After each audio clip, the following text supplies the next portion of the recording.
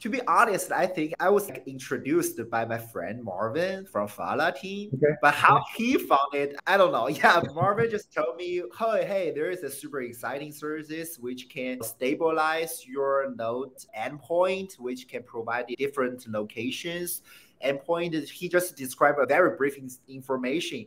Then I talked with James, and then we just start using the Alpha services, and found it's good and you guys always i won't say like the customer service but you always give us the super detailed data to show what data we use like for the last month.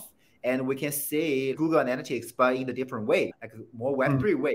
We can learn more about our users and user behavior and then we get it from there. So the, the, this service is actually beyond the node services it's like we can also enjoy and analyze some data from the node services especially you guys capture some behaviors of, of the node at the endpoint, which is awesome. Yeah, I think.